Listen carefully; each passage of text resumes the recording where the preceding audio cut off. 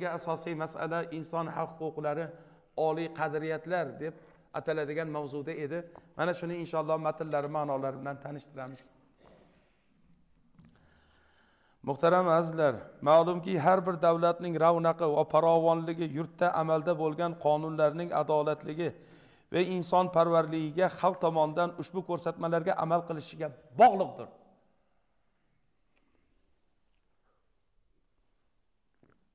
Davlatchilik davlat hukumat davlat jumhuriyat.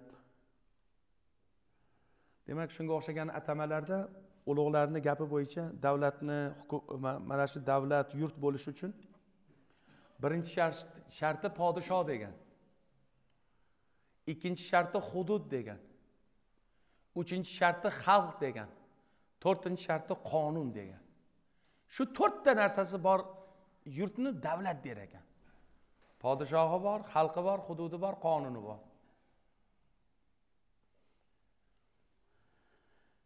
Yurtimiz mustaqillikka erishgandan so'ng xalqimiz qo'lga kiritgan eng katta yutuqlardan biri inson huquq va erkinliklarini ta'minlovchi hujjat bo'lmish bosh qomusimizni qabul qilinishi bo'ladi.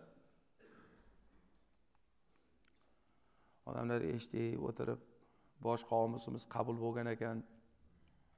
Birodarlar o'sha qomusimiz hozirgi kunda bundan keyin ham amal qilaveradi. Bu narsaga insoniyatning rag'bati insoniyatning ongi tafakkuri insoniyatning mana shu qalbida bo'layotgan kechirmalari ruhiy holatlari yana boshqa ta'limi tarbiyasiga ko'ra unga amal yoki amal qilmaslik ko'rinib qoladi. Qonunlar judayam go'zal yozilgan. Judayam aniq yozilgan. Shuni borini o'ziga shukur shuni o'zini boriga shukur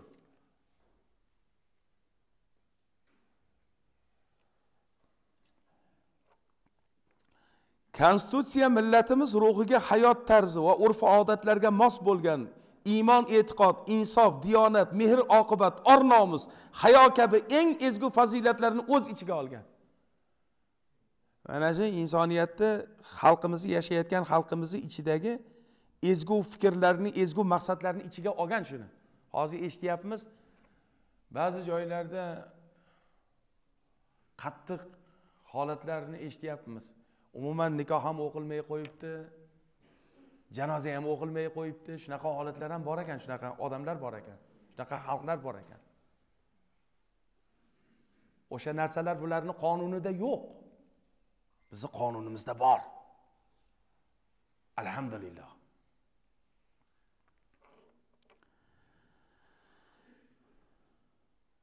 Konstitutsiya milliy davlatchiligimizni ramzi sifatida insonning qadr qimmatini ulug'lash uni huquqini qonuniy manfaatlarini daxlsizligini ta'minlashga xizmat qiladi. Hamma qonunlar hamma huquqlar shuni ichida yozilgan.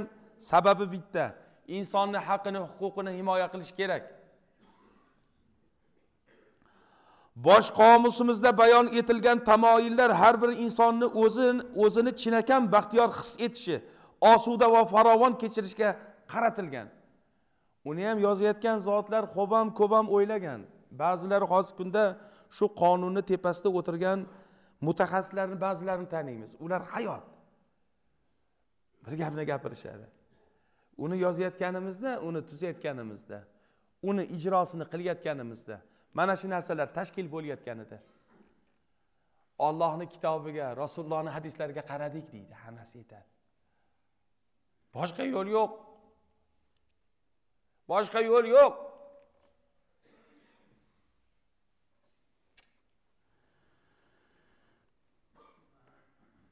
binobarin alloh tabaraka va taolo inson naslini ulug'ladi unga behisob ne'matlar yaxshiliklar ato etdi boshqa maxluqotlarga bermagan fazilatlarni aynan odamga xosladi.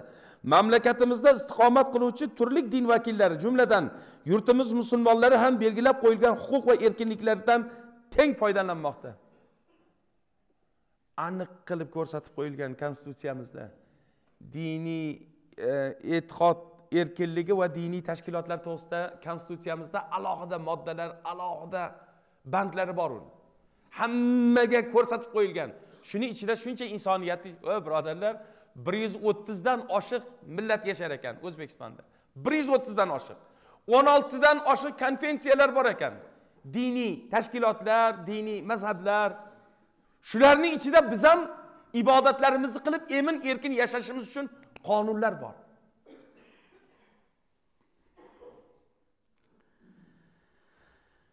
Qayd etish joizki diniy sohada muhtaram yurtboshimizni bevosita tashabbuslari bilan keng ko'lamli ishlar amalga oshirilmoqda. Jumladan o'tgan davr mobaynida joylarda tubdan yangi qurilib xalqimiz ixtiyoriga topshirilayotgan toshkent shahridagi shayx muhammad sodiq muhammad yusuf termiz shahridagi imom at termiziy urganch shahridagi oxun bobo masjidlari qarshi tumanidagi abul muin an nasafiy majmuasi yangidan tashkil etilgan imom termiziy xalqaro ilmiy tadqiqot markazi hadis ilmi maktabi buyuk ajdodlarimizni ilmiy asarlari va boshqa turli diniy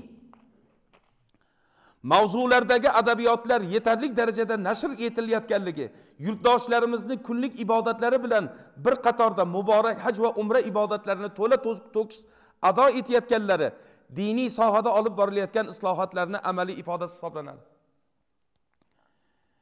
Juda hamma yurtimizni joylariga mintaqalarga qarasangiz masjidlarda ta'mirlagan ilmiy markazlar ochilgan.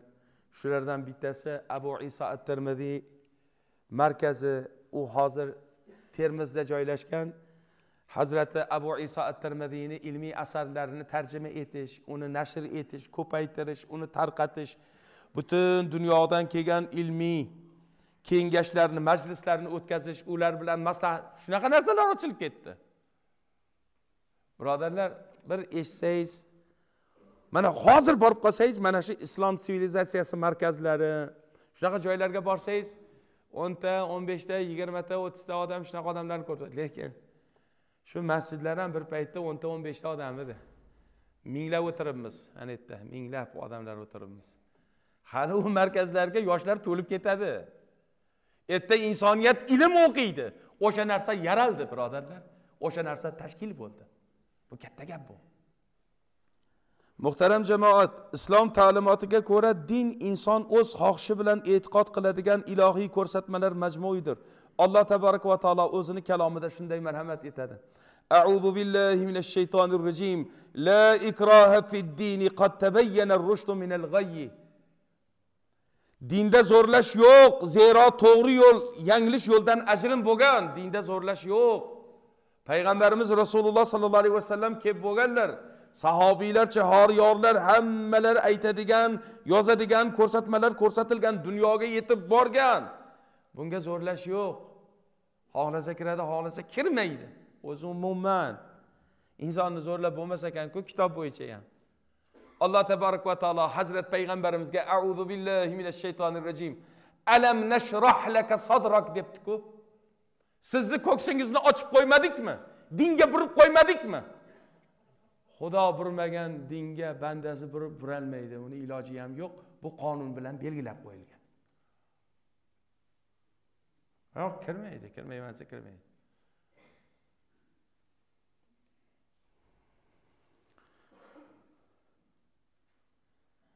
Qonunlarimizda ham oila masalasida alohida to'xtatilib to'xtalib o'tiladi.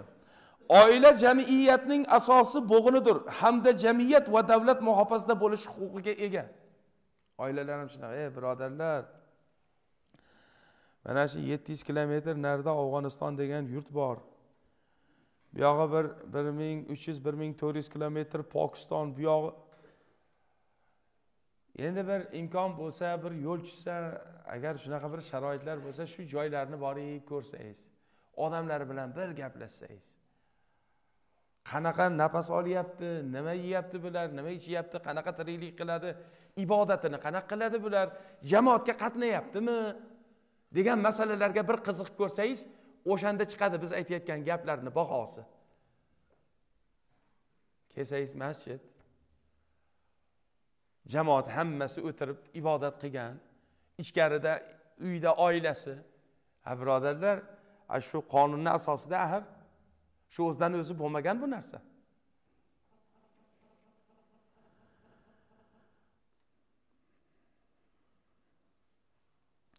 Ota onalar o'z farzandlarini voyaga yetgunlariga qadar boqish va tarbiyalashga majburdirlar bu ham qonunda belgilab qo'yilgan. Va birodarlar otani onani bolaga bo'lgan mehrini ham qonunda belgilab qo'ygan.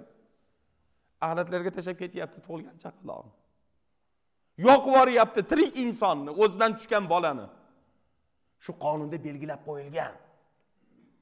Shunaqa qilmasin boqsin majbur deb. Bu qayerdan bu? Siz bilan biz qila olamizmi shuni? Uni qilolmaymiz qur'oni karimda shundoq deyiladi. Auzu billahi minash shaytonir rojim va alal mavludi lahu rizquhunna va kisvatuhunna bil ma'ruf. Ularni me'yorda oziqlantirish va kiyintirish otaning erning zimmasidadir. Ajrashib ketganlar haqida ham qonunlarni belgilatib qo'ygan. Bolani kim boqadi? Bolani. Alimentni kim to'laydi? Uni ham belgilab qo'ygan.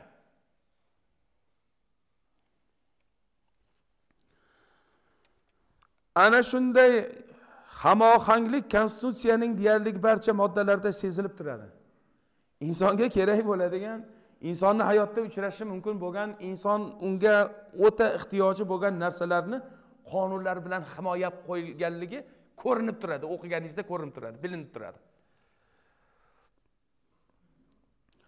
Unda o'zbekiston hududida yashovchi har bir fuqaroning manfaatlari huquq va burchlari qonun qonun asosida belgilab qo'yilgan bo'lib fuqarolarning millati irqi va dinidan qat'iy nazar teng huquq ekanlari kafolatlanadi. Hammasi bir xil. Mo'mini ham musulmoni ham nasroniysi ham yahudiysi ham qonunni oldida bir xil. Birovni birov ustidan kulmaydi birovni birov mazax qilmaydi birovni birov kamsitmaydi mumkin emas. Shu ham qonun bilan belgilab qo'yilgan.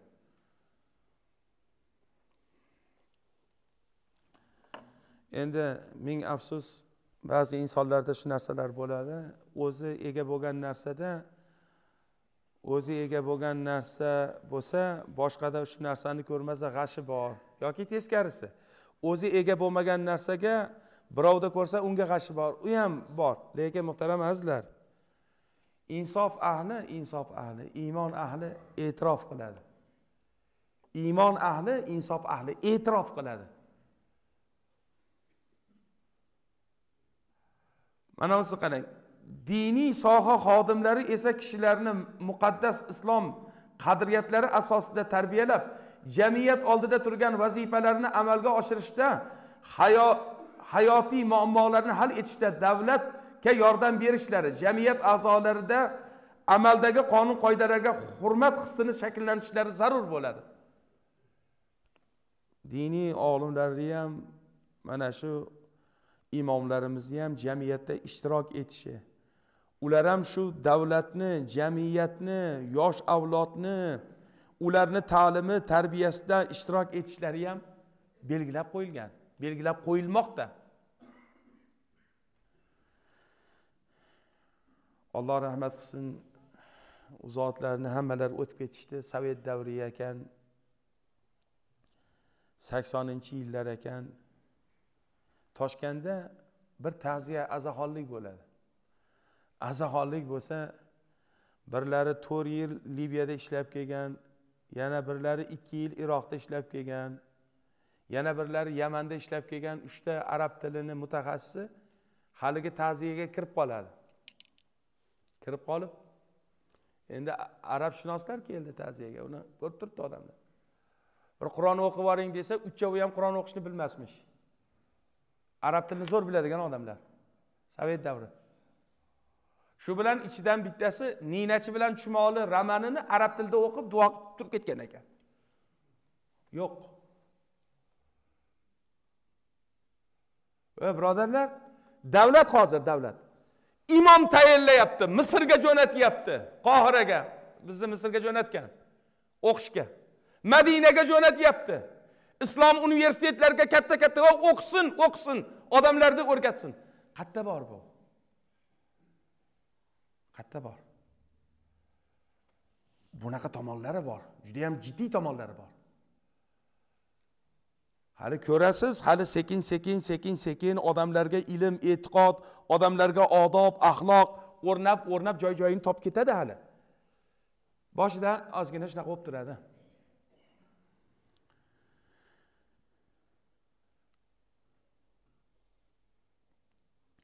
Jamiyatdagi insonlarning o'zaro bir birlaridagi haq huquq va majburiyatlari astoydil ado etib joriy bo'lgan ma'lum qonun qoidalarga rioya qilib yashashlari ijtimoiy adolatni qaror toptirishda muhim o'rin tutadi. E, bitta oddiy davlat avtomobil nazorati xizmati xodimini ahamiyatini oling. Ko'chada gai bo'lmasa nima bo'ladi? Ko'chada gai bo'lmasa.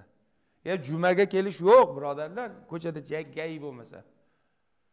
Janjal bo'layotgan bo'ladi probka bo'lib. Toshkentni hamma joyda. Agar insoniyatni o'rtasidagi haqini huquqini muayyan belgilab turuvchi qonun va uni nazorat qilib turuvchi odamlar bo'lmasachi?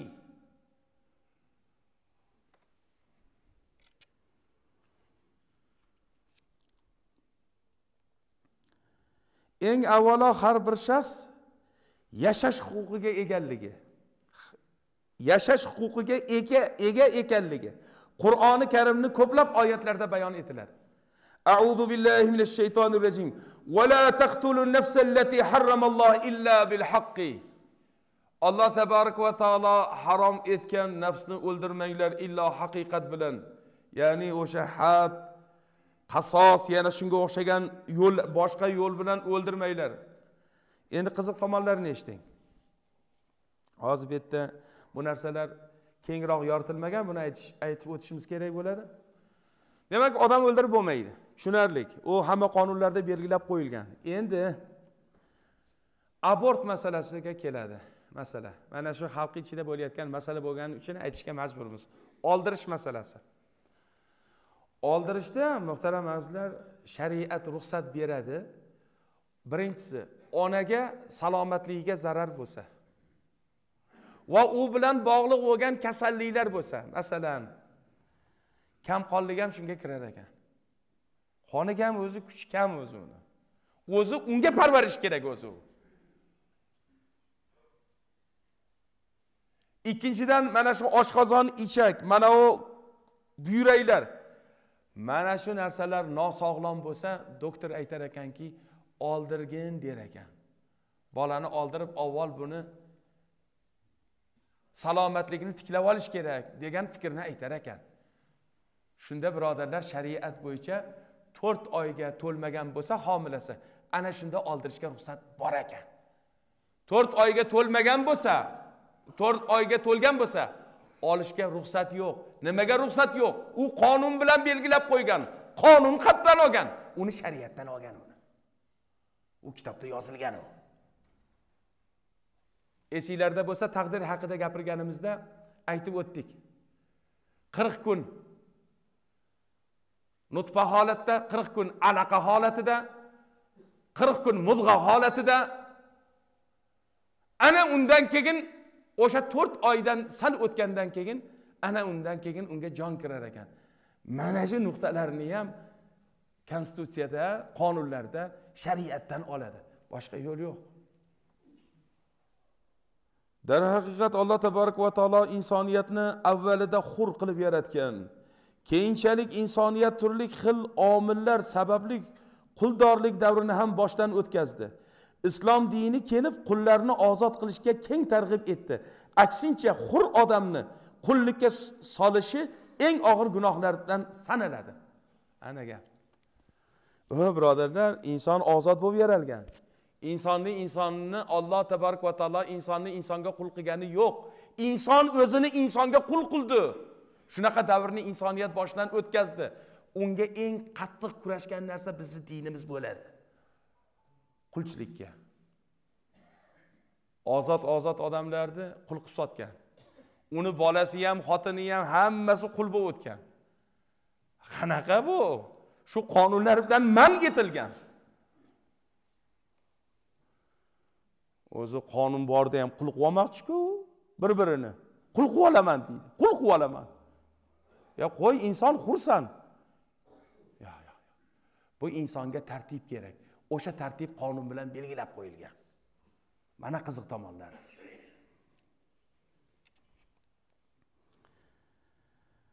quyida hadisda shu ma'no ifodalanadi. ثلاثة أنا خصم خصمهم يوم القيامة. هاي هاي هاي ثلاثة أنا خصمهم يوم القيامة. رجل أعطى بي ثم غدر. ورجل باع حرا فأكل ثمنه. ورجل استأجر أجيرا فاستوفى منه ولم يعط أجره. رواه الامام البخاري al buxariyu uch odam bilan qiyomatda husumatdaman dedilar. Qiyomatda hazrati payg'ambarimiz sallallohu alayhi vasallam husumatdaman dedilar. Dushmanim dedilar. Ey xudoyo tavba qildim. Tavba qildim. Bunaqa holatdan val iyozi billah. Payg'ambarimiz dushman bo'lib qolishlaridan rasulullohga dushmanlik xudo asrasin undan. Birinchisini aytdilar. Menga va'da berib bajarmagan dedilar. Voy rasulullohga qaysi birimiz va'da berganmiz? Qaysi birimiz rasulullohga va'da berganmiz? Birodarlar mo'min mo'minga bergan va'dasi rasulullohga bergan va'dasi ekan. Buzib bo'lmas ekan. Mo'min mo'minga bergan va'dasi rasulullohga bergan va'dasi ekan. Kim va'dasini buzsa man u bilan qiyomatda husumatdaman.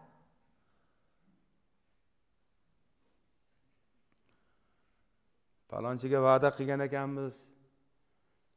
Desak bizniki yuravering deyapti hozir. Qo'ying uni deydi. Xudo olsin uni siz bu yoqqa yuring. Pul beraman deydi. Bu ona so'kkan bilan barobar onani so'kkan bilan barobar. Domlaga yuziga aytyapti shuni. Yuring deydi man sizga pul beraman unikini qo'ying deyapti. Mana insoniyat nimaga bordi? Bunaqa taklif kiritish uchun bunaqa odam razolatga borish uchun ancha pasayib ketgan bo'lishi kerak. Unga namozni soqolni sallani do'ppini foydasi yo'q unga hajga borib kelganni foydasi yo'q unga. Unda din yo'q chunki va'da yo'q. Birodarlar osh yeb o'tirgan bo'lsa to'rttasi bittasi aytib qolsa birovga va'dalashuvdim. Tur o'rningdan tez bor va'dangga. Moshin yo'qmi? Moshin mana moshin. Yoki puling yo'qmi? Mana pul. Bor tez bor. Hozir to'rttasi o'tirgan bo'lsa va'dam borsa osh yeb ket deyapti. Unaqa odam bilan o'tirib bo'lmaydi ertadan turib ket. Qaytadan kelma u joyga u davrada? Erta yaxshilik yo'q.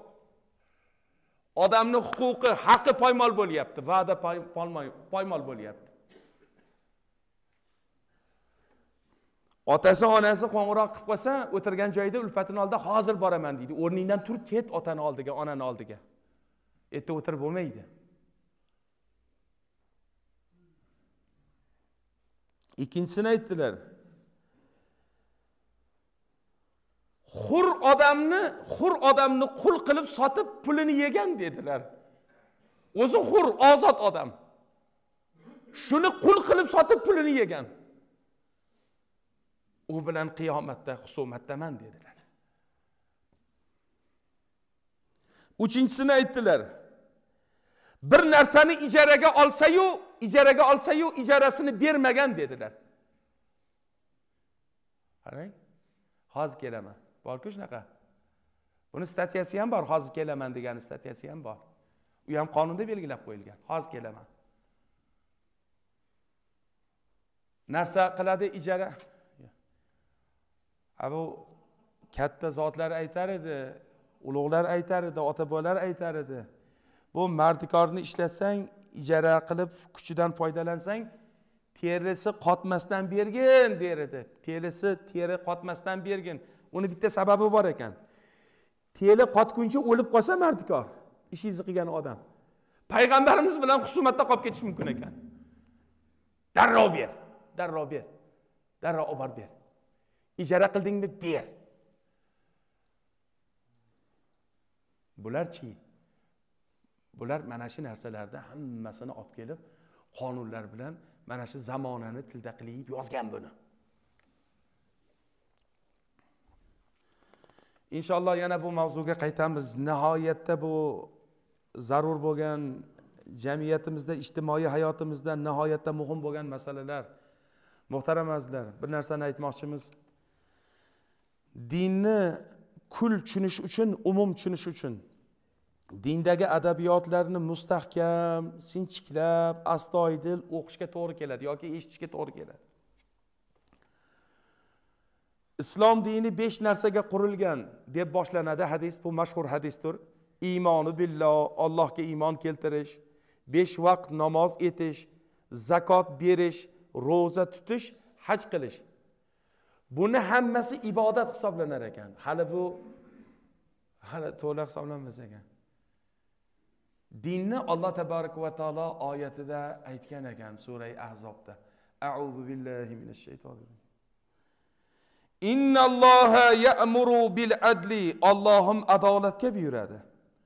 Val ihsani ehsonga buyuriladi. Ya'ni ollohni sen ko'rmasang ham sen uni ko'rib turibsan. Buni bo'lish sababi. Qisqa qilib aytamiz vaqt e'tiboriga ko'ra. Bu oyai karimani kelishiga usmon ibn mazun sabab bo'lganlar degan imom al buxoriy imom al buxoriyni al adab al mufrat asarlarida bag'iy degan bobul bag'iy degan bir bob bor. Dushmanchilik degan bir bob kelib qolgan. Shunda hikoya etiladi. Qisqaroq aytamiz vaqt e'tiboriga ko'ra. Hazrati rasululloh sollallohu alayhi vasallam makkada uylarini soyasida o'tirsalar usmon ibn mazun o'tdilar. Sharhida aytganki rasululloh sollallohu alayhi vasallamga kofirlar qattiq azoblarni berib payg'ambarimiz rasululloh sollallohu alayhi vasallamga sitamlar qilib rasulullohni ezib turgan paytlarda usmon ibn masun ko'chadan o'tyaptilar. Usmon ibn masun deganlari payg'ambarimiz bilan bitta onani emgan emakdosh akalari edi rasulullohni. Sutdan bo'lsa ham o'tar ekanda. Mehr sutdan bo'lsa ham o'tar ekan. Rasulullohga tabassum qildilar usmon ibn masun shu yerda kashara degan jumlani ishlatganlar irshaydilar. Irshayuvdilar rasululloh sollallohu alayhi vasallam o'tirmaysizmi? dedilar usmon ibn masunga o'tiring. Ho'p mayli deb o'tirdilar. Qarang. Shunda rasululloh sollallohu alayhi vasallamning muborak yuzlari osmonga tikilib qoldi. Oyat nozil bo'ldi dedilar usmon ibn mazun qanaqa oyat nozil bo'ldi hazrat payg'ambarimiz rasululloh sollallohu alayhi vasallam bu oyatni o'qib berdilar أعوذ بالله من الشيطان الرجيم إن الله يأمر بالعدل والإحسان وإيتاء ذي القربى وينهى عن الفحشاء والمنكر والبغي يعظكم لعلكم تذكرون oyati kelgandan keyin men rasulullohni yaxshi ko'rib qoldim. Men u zotga iymon keltirdim deydilar usmon ibn masun mana shu oyat kelganda usmon ibn masun musulmon bo'lgan ekanlar. Islomni qabul qilgan ekanlar. Hazrat payg'ambarimiz rasululloh sollallohu alayhi vasallam madinaga musulmonlar hammalari madinaga ko'chib borishdi. Usmon bin mazun ham madinaga ko'chib bordilar. Musulmonlarni ichidan birinchi bo'lib usmon bin mazun vafot etdilar madinada. Payg'ambarimizni akalari shunda hozirgi baqia degan qabristonga ko'mildilar. Hazrati rasululloh sollallohu alayhi vasallam anavi toshni olib kelib akamni tepasiga qo'yib qo'ying. Topshiriqni olgan sahobiy ixchamidilar ninjonmidilar yo tosh kattamidi har holda borib ko'tarolmadilar haligi toshni. Rasululloh sollallohu alayhi vasallam o'zlari yenglarini shimarib haligi toshni ko'tarib olib kelib akalarini tepasiga qo'yib qo'ydilar. Sahobalar so'rabdilarki ey ollohni rasuli bu nima ish? Shu toshni ko'rsam akam esimga tushsa shoyat degan ekanlar. Toshga belgi e, qabrga belgi qo'yish usmon ibn mas'unni vafotidan qolgan ekan. Endi bu yerdagi gap hazrati payg'ambarimizga makkada usmon ibn mazun roziyallohu anhuni oldilarida nozil bo'lgan bu oyat islomni asosi hisoblanadi. Ertagi ma'no. Olloh adolatga buyuradi. Adolatga buyuradi. Tenglikka buyuradi. Tenglik degani rostlik bilan rostlik bilan teng tutishni adolat der ekan. Ikkinchisini ehsonga buyuradi. Ehson illam takun tarahu fa innahu yarok. Ollohni sen ko'rmasang ham olloh seni ko'rib turibdi qabilida ish tutishni otini ehson deydi. Ana aqiqa ana dasturxonlarda ehson demaydi. Bizni tilimizda ehson bo'lib ketgan. Ehson deb ollohni ko'rmasang ham olloh seni ko'rib turibdi. Shuni otini ehson deydi uchinchisini va itoidil qurbo yaqinlarga yordam berishga buyuradi. Yaqinlarga otaga onaga akaga ukaga opaga singilga yordam berishga buyuradi uchta narsaga buyurdimi? Uchta narsadan qaytaradi. Aytadi fahshdan qaytaradi gunohdan qaytaradi. Ikkinchisini aytgan munkirdan qaytargan noodamiylikdan qaytargan. Uchinchisini aytadi dushmanlikdan qaytaradi. Birodarlar namoz o'qigan zakot bergan ro'za tutgan iymon keltirib mana shu ro'za tutgan haj qilgan insonlar uchta narsani mahkam ushlab uchta narsadan qochmasalar din din bo'lmaydi. Adolat bo'lmasa ehson bo'lmasa yaqinlarga yordam bo'lmasa faxsh munkardan o'zimizni tutolmasak dinimizni ma'nosi qolmaydi. Bir birimizga dushman bo'lsak dinimizda ma'no qolmaydi. Shuning uchun dinni yetkazishda uni mohiyati bilan tushunishda mana shu me'yorlarga amal qilishimiz kerak ekan. Allohim yaxshilikni nasib qilgin adolatni nasib qilgin ehsonni nasib qilgin. Allohim rahmatingdan fazlingdan nasib aylagin. Gunohlarimizni kechirgin hidoyatingga boshlagin. Inshaalloh bu mavzuga yana qaytajakmiz.